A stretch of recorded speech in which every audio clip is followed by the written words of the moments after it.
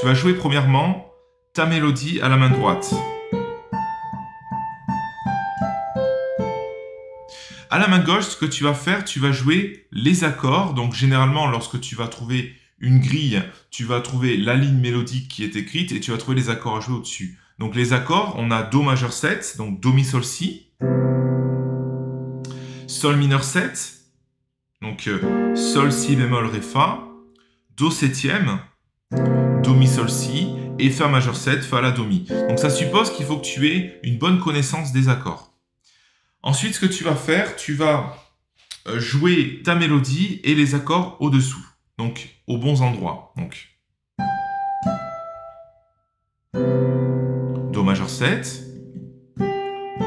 Sol mineur 7, Do 7 et Fa majeur 7.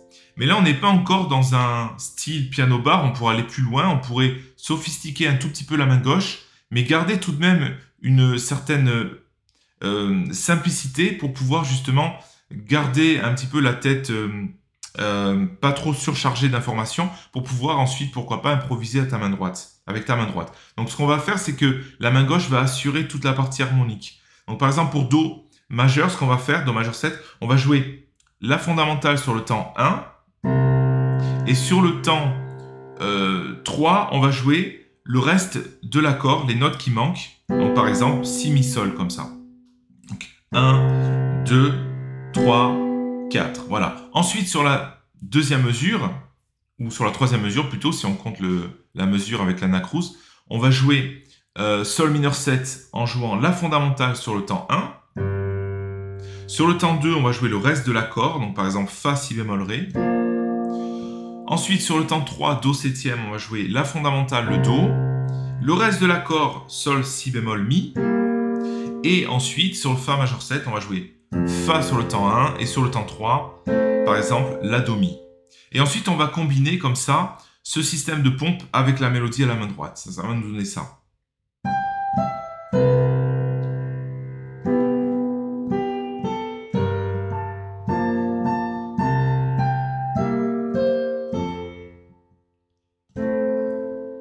Et avec ce système-là, tu peux euh, eh bien, jouer en version piano-bar parce que le système de pompe te permet d'assurer les basses, l'harmonie dans les médiums, et puis la main droite va s'occuper de la mélodie. Ce qui est intéressant, c'est que tu vas avoir quelque chose de simple et efficace qui va vraiment faire le boulot correctement, et en même temps, tu vas pas avoir la tête surchargée d'informations, ce qui va te permettre d'improviser, par exemple, à ta main droite, avec ta main droite, tout en gardant cette pompe à la main gauche.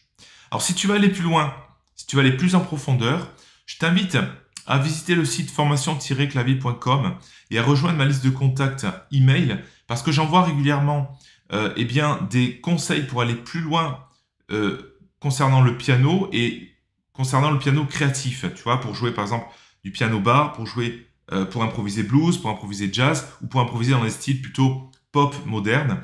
Et tu vas recevoir également des bons plans pour les cours à la carte que je propose si tu veux aller plus loin. Je te remercie d'avoir suivi cette vidéo et je te dis à bientôt.